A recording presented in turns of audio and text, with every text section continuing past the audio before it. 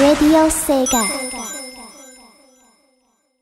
Polyroll was a game that initially fell under my radar. Those of you around at the time may remember our Sage 2018 coverage on YouTube, where I was in charge of checking out the greatest 2D games to be offered in the Expo, and Polyroll coverage was nowhere to be seen on the channel for a reason. It's rather silly now, but my memories of the game were being turned away by the art style, which is such a frivolity to get up in arms about, but 8-bit indie games have been done to death, how can this be any different from any other simple platformer I've played? So I didn't touch it, and I probably wouldn't have done if it wasn't for the developers getting in touch with us. Why bring all this up? I'm making up for lost time. Polyroll is a game that gets so much right for me, I wish I'd paid more attention to it throughout its development cycle and hadn't been judgmental over something so minor. After all that said and done, I'm Green Viper 8, and on behalf of Radio Sega, this is my review of Polyroll. Since it ties most games together, why don't we start with the story? Kaiser Kiwi has kidnapped your friends and it's up to you to stop him and rescue your buddies. That's it. You'd think it being me, I'd try to pick apart this story for everything it's worth, but not this time round. Whereas a story this simple is baffling in AAA titles such as more recent Mario games, this actually works in Polyroll's favour. We're here, this is why we're in the world, let's run through some levels. For such a small and simple game, expanding the story any more than this would feel unnecessary, and Polyroll has no idea what the word bloat means in any context, so we might as well just move past that.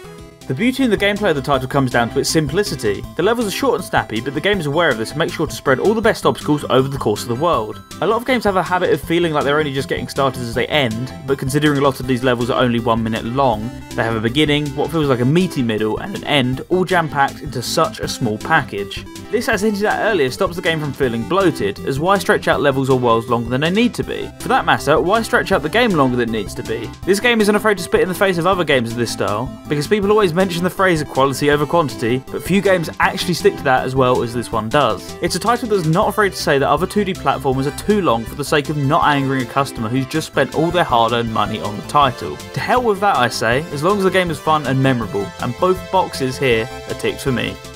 The obvious comparison that everyone will immediately go with for the gameplay is Sonic the Hedgehog, and of course, that was my first knee jerk reaction too. Not that my thoughts have changed, mind you, but over the course of playing, I started to notice something that I never thought I'd see in a speed based 2D indie platformer, and that is that the game appears to be pretty heavily inspired by the Master System and Game Gear titles. This shocked me at first, but the comparisons drew larger and larger in my mind as it went on. This is a complete breath of fresh air, as over the last 10 years, we've seen so many fan games and original titles ripping and stealing stealing cues from the original Sonic trilogy, so seeing a game riff on the ideas presented in their demakes is actually something quite special, and once again, I'm all for it.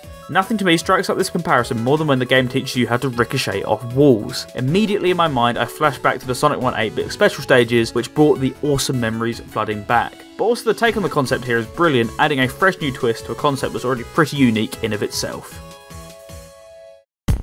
Let's go on to an important topic, death. It's inevitable, nowhere more so than Polyroll. That's why it thankfully makes the decision to scrap the archaic live system that platformers prey on and instead chooses to make the challenge down to the level design itself rather than to a limiting number hanging over your head. This is a fantastic design choice and it baffles me that this is the standard for indie titles, yet AAA titles use the outdated system as a get out of jail free card for challenge.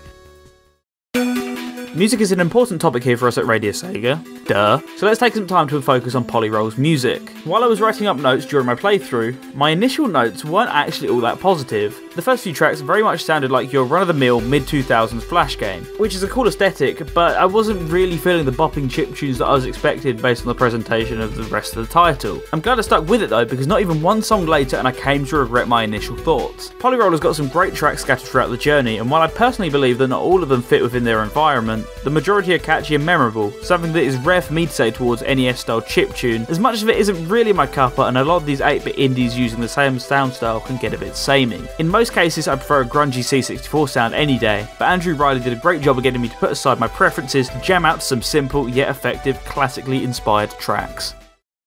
Polyroll is a game that caught me off guard in a multitude of ways. On one hand, anyone can see the Sonic inspiration a mile off, but the title has so many twists and tricks up its sleeve that unlike many titles inspired by the franchise, it truly stands on its own two feet as a short but sweet title, and to the point, a budget indie game. Considering its low price point and just how easy it is to pick up and play, I can safely recommend you nab yourself Polyroll. It might not blow you away in certain aspects, but the charming visuals and genius level design are anything unable to be experienced either on Steam or the Switch as of now. Thanks once again to Shiny Dolphins and Spicy Gyro Games for providing us with two copies of the game. You guys rock.